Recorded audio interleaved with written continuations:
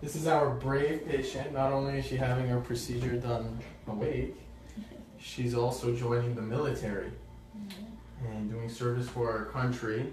One request that the country had, though, was to address her ear gauges. These aren't that significant in terms of deformity. This is a type 1 deformity.